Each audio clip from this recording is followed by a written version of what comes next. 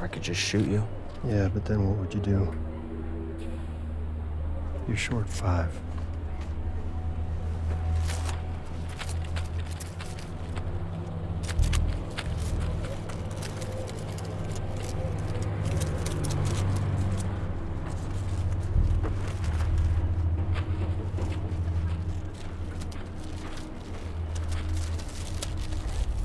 Oxy?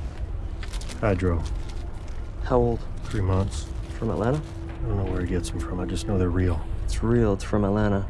I just got a factory down there in the QZ. Supposedly only makes two things pills and bullets. Bullets and pills. The more you shoot people, the harder it is to sleep, I guess. Oh, you guess? You want them or not.